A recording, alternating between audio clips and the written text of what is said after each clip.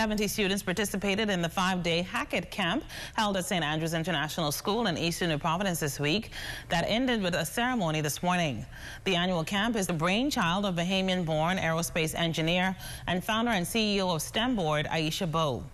During the five days, students received hands-on technical instruction in the engineering technical trade, and students this year were charged with tracking their technical knowledge and building a business that would make an aspect of Bahamian life better with winning with the winning company being judged for a $1,000 prize to start their own company.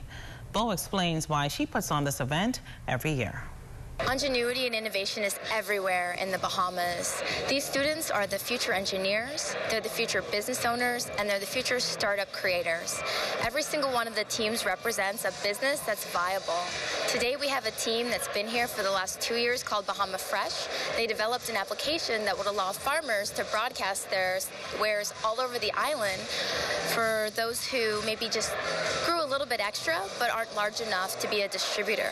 I mean, those types of innovations, which seemingly are small, can make big differences in people's ability to generate revenue and plan for their future.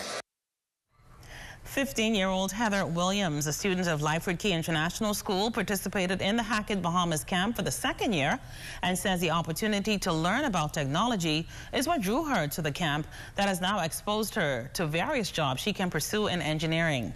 The Ministry of Education has been a sponsor for the camp for several years, and Undersecretary Saritha Clark explains their sponsorship. First, I wanted to do something with the environment, but I realized that engineering is so broadly spread that I can do like so many things.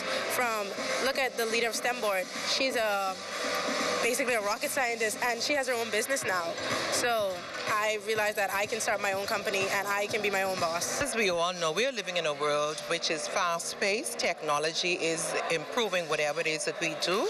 And these students who are participating are learning new skills, new technological skills that can help them to advance in their studies as well as to allow us as Bahamians to have a better way of life.